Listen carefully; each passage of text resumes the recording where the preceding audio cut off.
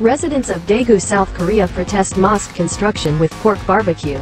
Residents of Daehyeon-dong in Daegu, South Korea in opposition to the construction of a mosque in the neighborhood on Thursday, cooked a whole pig near the construction site, stepping up the ongoing clash with Muslim residents of the city.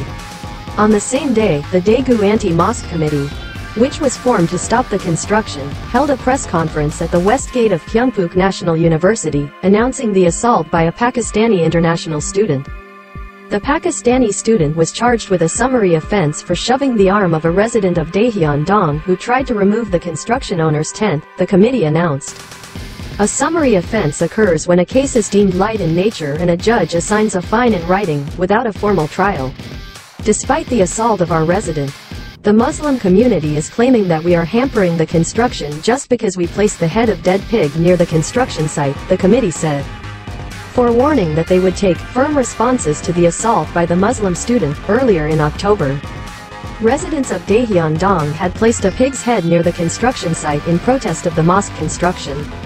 Pork is a forbidden food in Islam in accordance with the Quran. Following the press conference, Members of the emergency committee immediately moved to the mosque construction site and held what they called a Daehyeon Year-End Party to prevent physical conflict. The Daegu Northern District Police Station has deployed personnel from an emergency team on standby near the construction site.